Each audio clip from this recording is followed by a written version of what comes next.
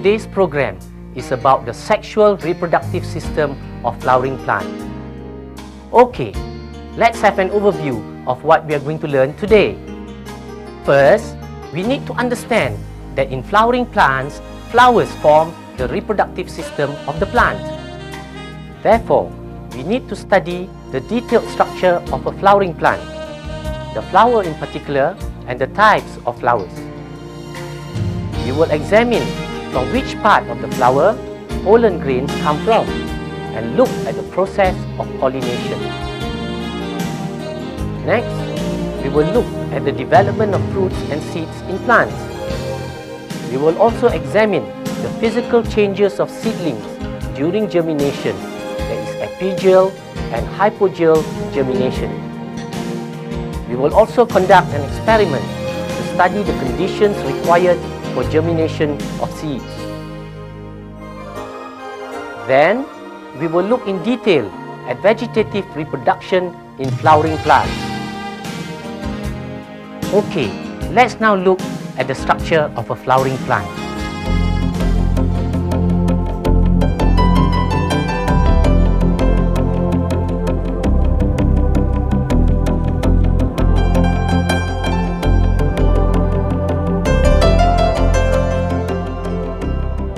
Flowers are the sexual reproductive organs of plants.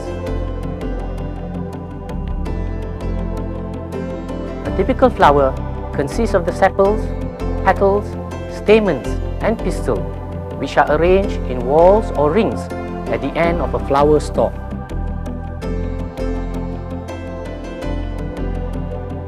The outermost part of the flower is the sepal.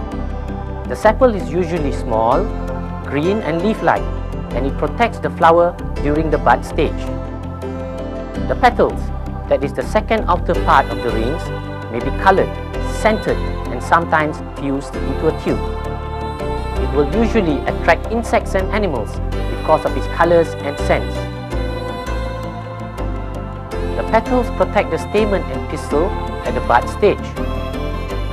The male part of the flower is called the stamen Each stamen consists of an anther at the end of a stalk-like filament. The anther produces pollen grains which in turn produce the male gametes. Whereas the female reproductive organs of a flower is the pistil.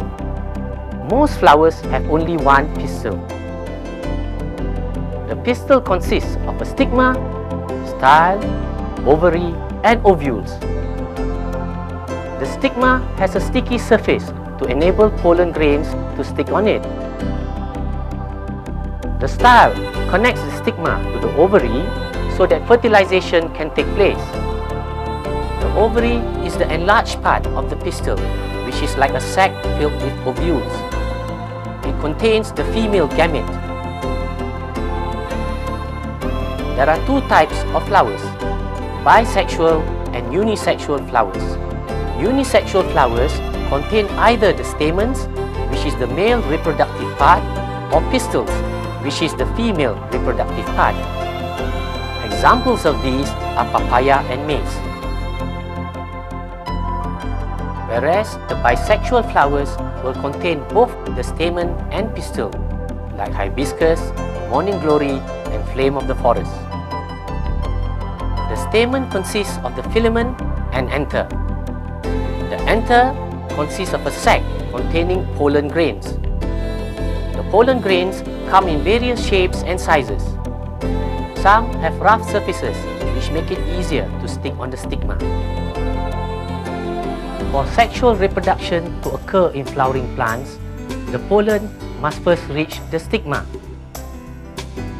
The process of transferring ripe pollen from the anther to the stigma is called pollination pollination plays an important role in enabling the male gamete sent by the pollen tube to fuse with the ovules in the ovary.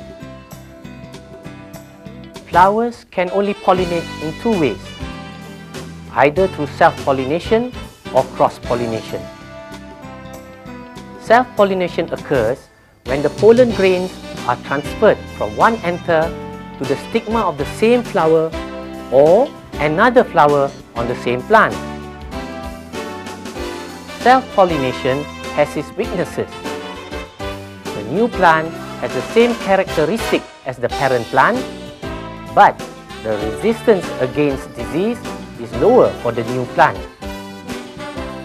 It will also result in less variety in new plants. Self-pollination to occur in the same flower, both the anther and stigma must mature at the same time. If it involves two flowers, the anther and stigma can mature at different times. On the other hand, cross-pollination occurs when the pollen grains are transferred from one anther to the stigma of a flower of another plant of the same species. The anther and stigma can mature at different times for cross-pollination to occur. Cross-pollination also results in more variety in new plants more resistance against diseases and the quality of plants will also improve.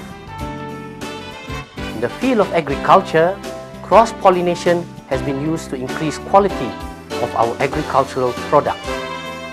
For example, in oil palm, cross-pollination between Pisifera and Dura type has produced the Tenera type, which has a thin outer covering and produces more oil a cross between Mexican maize and Taiwanese maize led to the golden honey maize, which has a larger cob, shorter ripening period, and is more resistant against diseases affecting the leaves. Another example is the Exotica malaysia papaya species, which is extremely sweet and exportable. Normally, the application of cross-pollination in agriculture has more advantages towards improving the quality and quantity of fruits and seeds, more adaptability to the environment, and it is more resistant to diseases.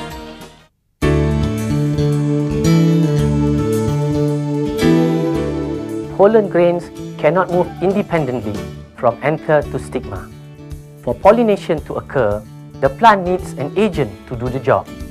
There are various types of pollinating agents, be it wind, insect, animal, or water. But the chief agents of pollination are wind and insect. The structure and characteristic of an insect-pollinated flower and wind-pollinated flower varies. For wind-pollinated flowers, the flowers are usually small, pale-colored, not scented, and have no nectar. They have long filaments so that pollen will be easily exposed to the wind. They produce a lot of small, light and smooth pollens so that it can be easily carried by the wind. The styles and stigmas are long and feathery so it can trap the pollens carried by the wind. Examples of this type of flowers are maize, paddy, sugarcane, and grass plants.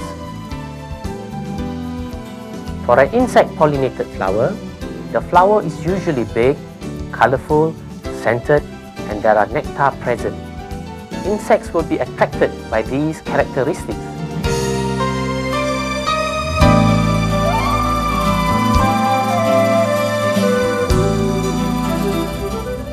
Insect land on the flower to suck nectar, pollen grains will stick to the hairy legs and body of the insect. Then, the insect will carry the pollen grain and stick it on the stigma when it lands on another flower. Insect-pollinated flowers also normally will have short filaments and small anthers at the end. The pollen grains are normally not much. They are big, rough and sticky. Styles are short and the stigma has a sticky surface. Examples of this type of flowers are hibiscus flower, sunflower, rambutan, and durian tree flowers. For plants that float or are immersed in water, they release their pollen grains on the surface of the water or into the water. Water will carry the grains to the stigma of the flower. Flowers pollinated by water will usually have plenty of grains, light, waterproof, small in size, no fragrance, no color and nectar.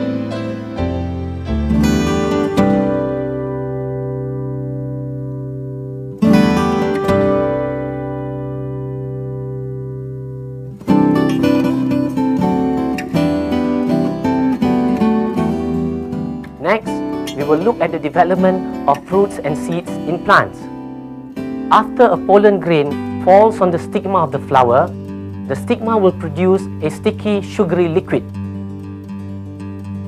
This liquid will be absorbed by the pollen grain and germinates a pollen tube.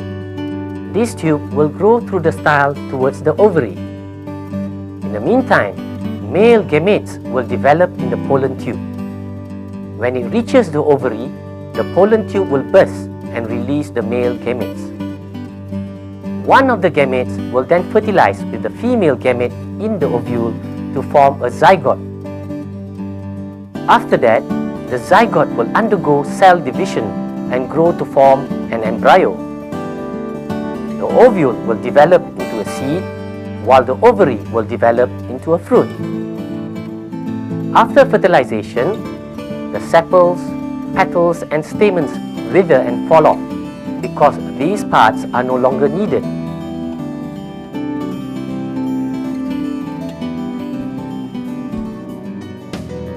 Seeds may differ in size, shape and color, but the basic parts are the same.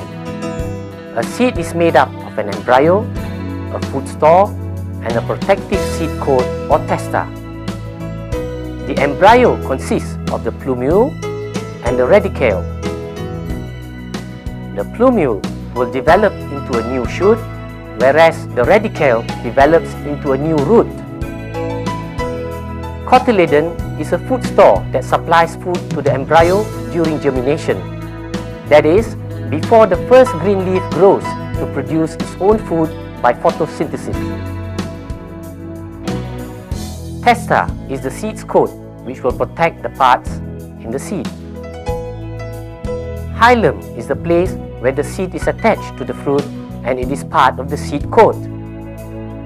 On the seed coat, there is a small hole that allows water and air to enter the seed. This is called the micropyle.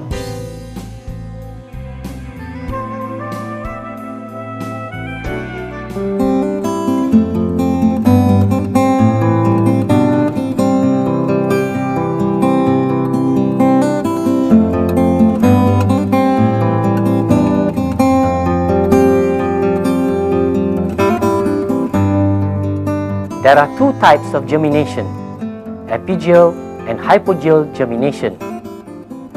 Epigeal germination occurs when the cotyledons grow above the ground as the shoot grows. Plants that undergo epigeal germination include sunflower, groundnut,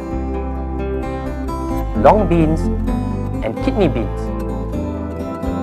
Hypogeal germination occurs when the cotyledons grow underground as in plants like maize, paddy, rubber trees, coconut, and rambutan trees.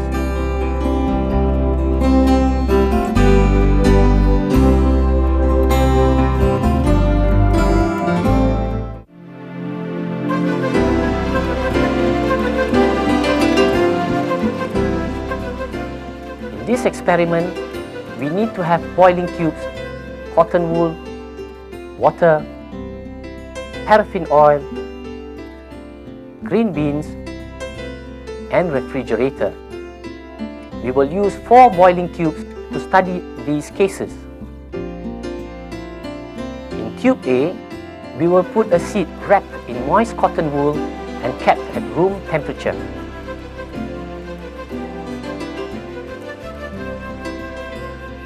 In tube B, the seed will be wrapped inside dry cotton and we'll leave it at room temperature.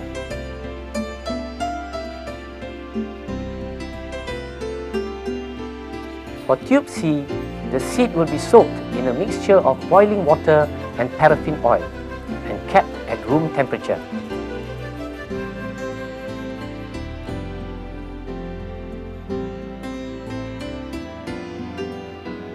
In the last tube D, we will wrap the seed in moist cotton wool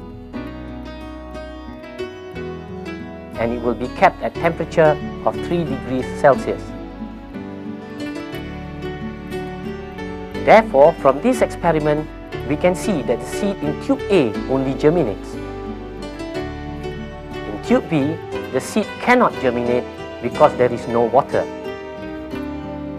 In tube C, boiled water does not contain dissolved air and paraffin oil prevents air from dissolving in water. That is why the seed in here failed to germinate. As for the seed in tube D, the temperature is too cold for the seed to germinate. From these experiments, we can confirm that the seed can germinate if there is presence of water, oxygen and suitable temperature. Seeds germinate best at 25 degrees to 30 degrees Celsius.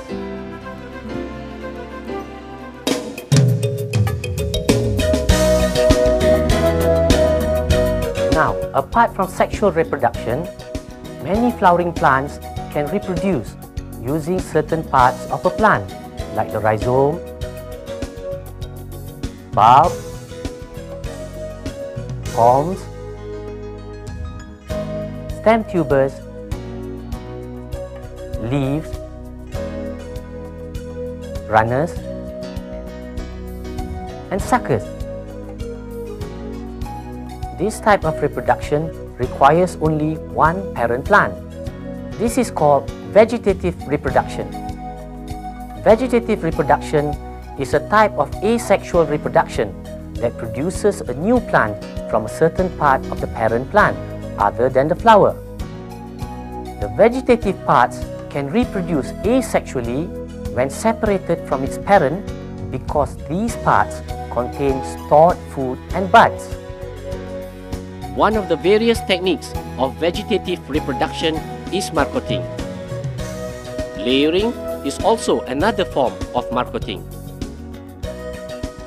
The young plants are exactly like the parent because they have the same genetic material. Examples of plants that reproduce vegetatively are ginger and lalang, which reproduce through rhizomes, potato through tuber, tapioca and sugarcane through stem, grass and Indian pennywort through runners, shallot through bulb, yam through corms, aloe vera through leaves and banana tree and bamboo tree through suckers. There are lots of research related to vegetative reproduction in agriculture being carried out by various private and government agencies like MARDI, Malaysian Palm Oil Board and various plantation companies. Vegetative reproduction is being used to produce new varieties of crops and to improve the quality and quantity of the plants stem cuttings have been used for a very long time. However, with the advancement in science and technology, the methods are now improved to produce faster and better results. Plants like tapioca, rose plants and hibiscus plants can be reproduced in this way. Tissue culture, an example of biotechnology, is used to produce new plants from tissues instead of from the bud of a parent plant. This technique produces plenty of new plants in a short time. It does not take up a lot of space and can be carried out throughout the year. The young plant is called a clone and is genetically like the parent. Every individual plant has genes in the cells. These genes decide the characteristics of the plant. Research has enabled scientists to change the genes in certain plants to obtain new genetically modified plants with the desired characteristics. Genetically modified crops mature early, produce more quality and quantity, and are more resistant to diseases and drought. Okay, let's recap what we have learned so far. Number 1. The flower is the sexual reproductive organ in plants. Number 2. The stamen is the male reproductive organ in the flower. The filament supports the anther. The male gametes are contained in the pollen grains. Number 3. The pistil is the female reproductive organ. It consists of the stigma, style, ovary and ovules. The ovules are the female gametes in the ovaries. Number 4. Pollination is the process of transferring pollen grains from the anther to the stigma of a flower. Number 5. Self-pollination takes place when pollen from the anther of one flower is transferred to the stigma of the same flower or another flower on the same plant. Number 6. Cross-pollination takes place when pollen is transferred from the anther to the stigma of a flower on a different plant but of the same species. Number 7. Insects, animals, wind and water are pollinating agents. Number 8. Fertilization in flowering plants takes place inside the ovule. Number 9. After fertilization, the ovules develop into the seeds, the ovary into the fruit, and the zygote into the embryo. Number 10. Germination is the process in which the embryo grows into a new plant. Number 11. Germination of seeds require water, oxygen and suitable temperature. Number 12. Vegetative reproduction is a form of asexual reproduction where a new plant is produced from the vegetative parts of the plant.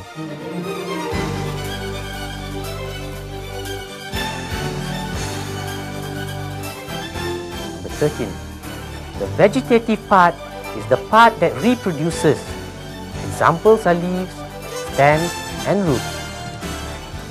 Number 14.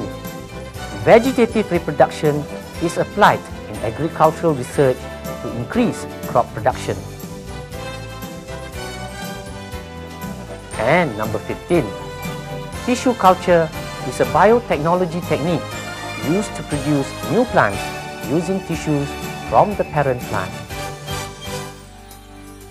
Understanding the sexual reproductive system of flowering plants can only serve to enhance a student's appreciation of the complexity and beauty of life.